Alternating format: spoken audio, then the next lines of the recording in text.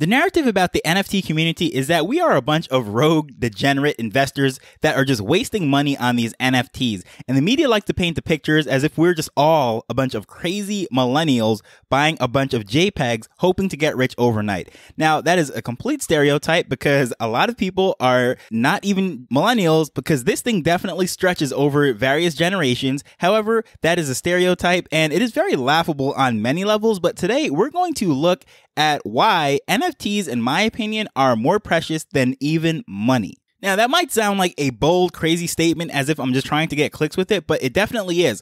First of all, you have to understand what money is and how it actually works. But just really quick, I'm going to give you a broad overview without giving you a masterclass on crypto and going into all these different things. If you look throughout history, people have used many different things as mediums of exchange or ways to store up wealth.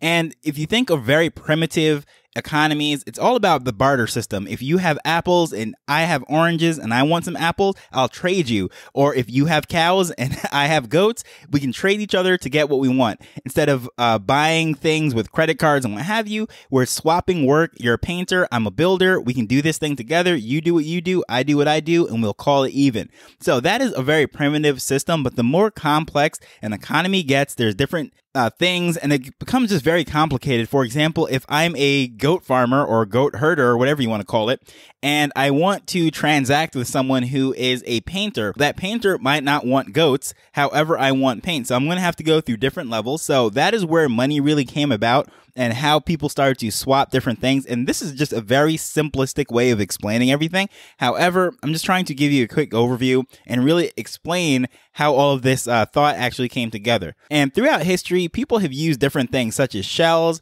beads, stones, and most recently precious metals. And that, of course, is silver and gold, things of that nature.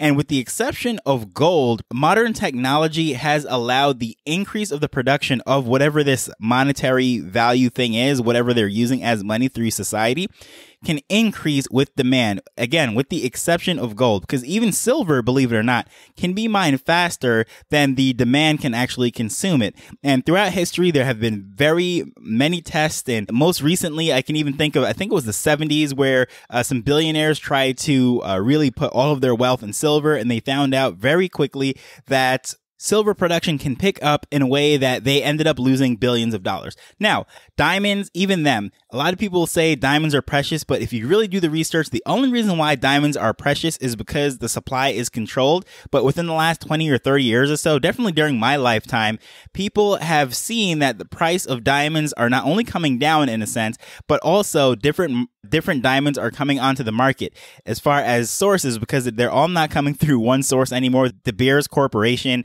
that was really controlling something like 90% of all the diamonds on the market.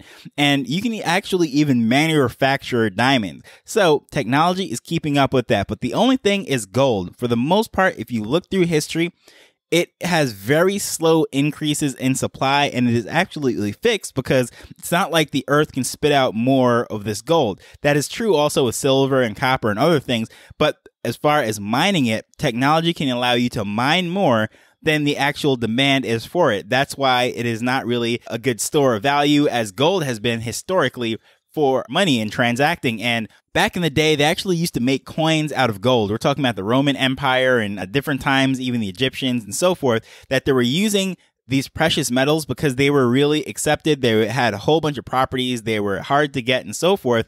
So Throughout history, different cultures all around the world, gold has really stood up as something to have value. But the thing about it is transporting it. It's one thing to just trade some gold coins to your neighbors, but if you're talking about international trade or really large sums of money, we're talking about loading up ships.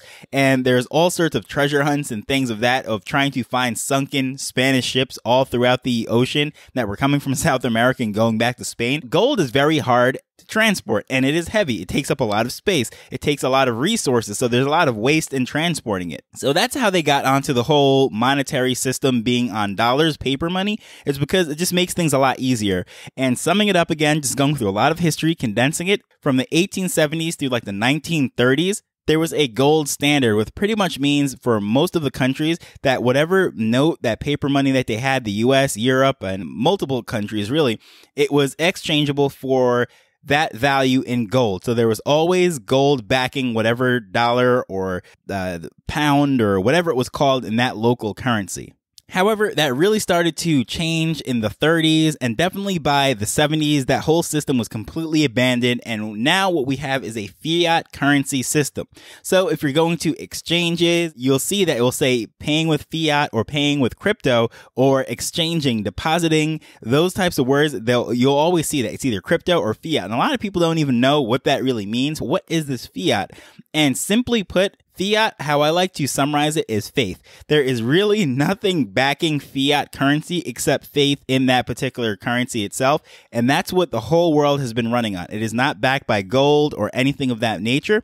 Some people like to say is the stronger the economy, the more GDP, the more population, or whatever economic metrics they like to use is what backs the strength of that dollar. But that is not true. Or not just dollar, but that particular currency. It could be the euro, the yuan, the yen, or peso in various countries, whatever it is called. Paper money, they're all the same and they're fiat currencies. And it is based purely on faith. If you do the research, there is literally nothing backing it whatsoever. It's just under the assumption that the next person will accept it as payment for whatever it is, whether it is those goats and those paintings that I was talking about earlier, whatever it is, the people that hold it just believe and know in theory tomorrow someone will accept it for what they want. So that's what gives it value. As soon as someone loses faith in that now, that's when there's runs on the banks and people are trying to get out uh, their money to go can convert it into gold and land and other things. It's because they're losing faith in the system. And that could be very dangerous. But this whole global worldwide system, generally speaking, again, I'm giving you a lot of information, just trying to sum it down. And then I'll get back to the whole NFTs and how all of this Web3 stuff ties into it. And it's pretty cool, in my opinion. But since World War II, pretty much every single currency around the world has been backed by the US dollar. So there's not gold in people's reserves. What they were doing is they were putting US dollars into their central bank reserves, and that's what they were using to basically help to prop up their currencies. However, there is nothing backing the US dollar other than the faith in the US dollar. So because of this, now that's why the whole system is literally built on faith because a lot of countries are popped up or their currencies are propped up by the US dollar, but the US dollar is propped up by nothing other than faith. So whether the people have direct faith in that particular local currency or direct faith in the US dollar, honestly, that is what is keeping the whole entire system up. So with all that said, now let's get everything back together and we'll tie this all together. And if you really want to go deep into this, the best place to uh, look that is pretty long read, but it's called the Bitcoin Standard, which is an amazing book. There's also an audiobook, ebook version, and I'll leave a link to that in the show notes. However, it really goes deep into that. I think the audiobook is probably like 16 or 17 hours. So I tried to condense a whole bunch of things in just a few minutes. But just keep in mind, generally speaking, the only real world utility for a fiat currency or money, as we call it, that, you know, we're transacting with in the real world, dollars, pesos, euros, whatever it is, is that someone else is willing to accept it for whatever you want.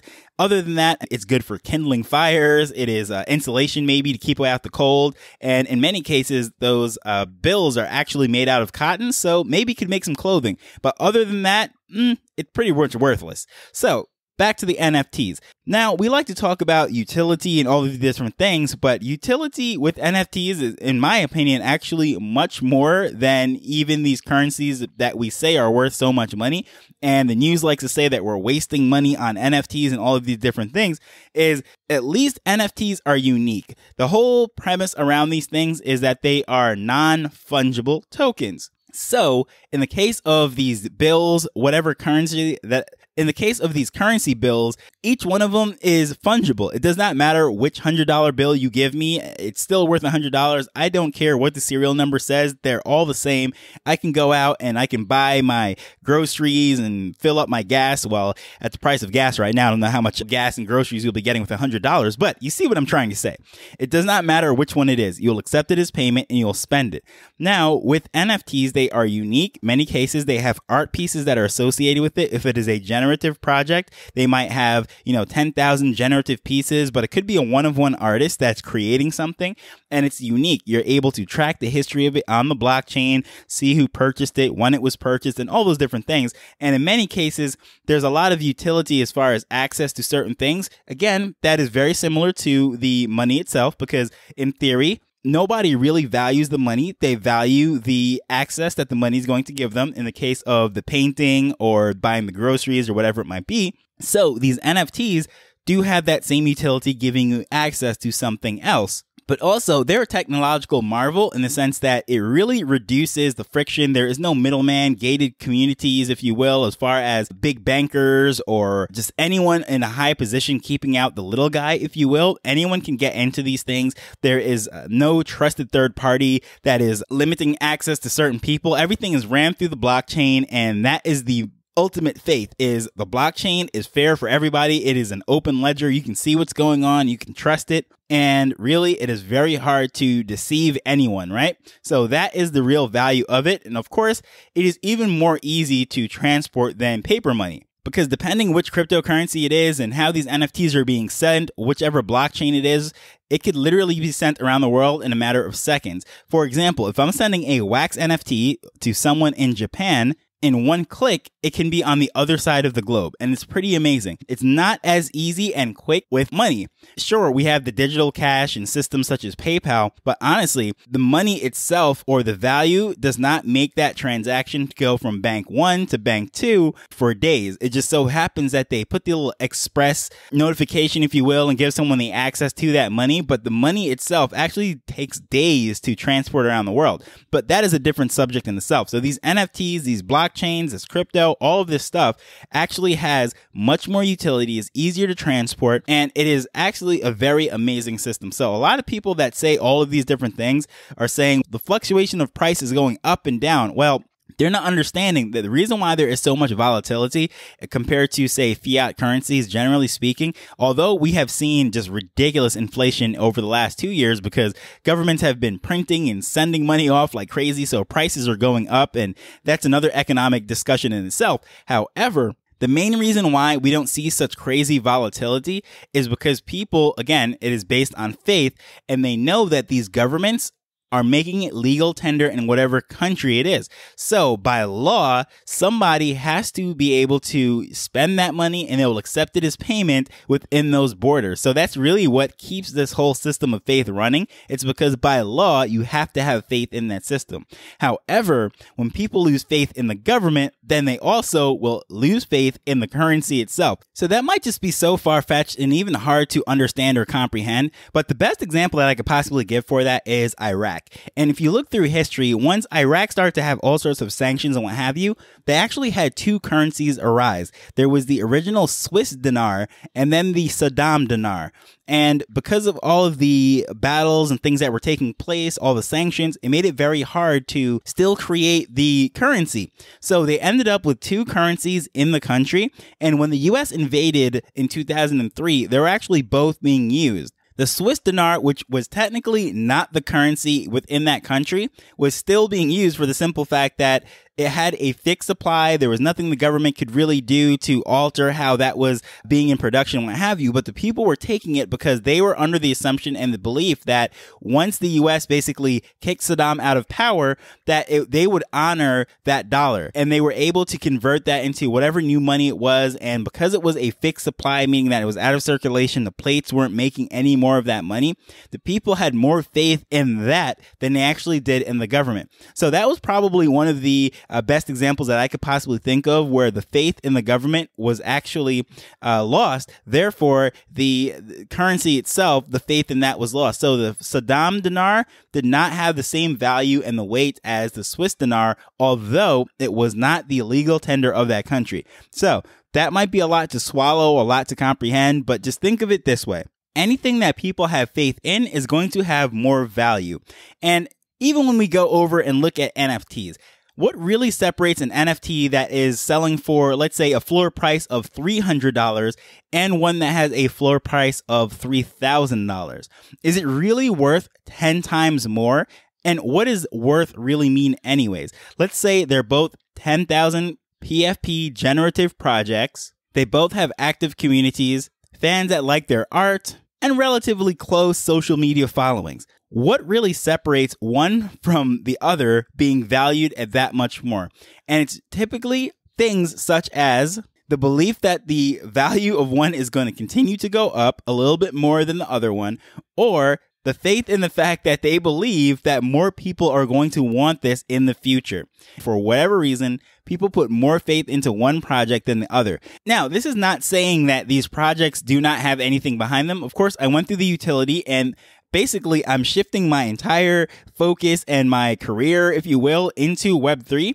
So to say that I don't have faith in the stuff and there's nothing behind it is that is definitely not what I'm saying. But what I'm simply saying is it is not crazy for people to invest their currencies, their fiat currencies into NFTs for the simple fact that there are certain elements in it that are similar because it is based on faith. However, there is a limited quantity. It's not like we can print more bored apes. It is locked in at that 10,000 and all the other different uh, additional things that I mentioned earlier is why this thing has value. And in my opinion, I don't think it is just gambling or wasting quote unquote money on these NFTs. Obviously, I don't because as I've said, I'm testing the depth of this water with both feet. But with that said, I think I covered a lot and I don't really want to go too deep into those things, but I definitely recommend if this is something that really interests you, the Bitcoin standard, by far, one of the best explanations of economies, currencies, and everything that's going on in this crypto space and why this blockchain technology is a big deal and it is definitely not going anywhere and this is the future. So I'll just leave a link to that in the show notes. And as usual, and if that's something that you're interested in, just a heads up, it is an affiliate link. So, not that I'm going to be getting rich off of promoting books on Amazon, but I just want you to let you know that it is an affiliate link and I do own the book myself. I do love it. And using that link does help the show out. So, as usual, thank you for listening, spending this time with me as we build Web3 together. So, until the next time, later.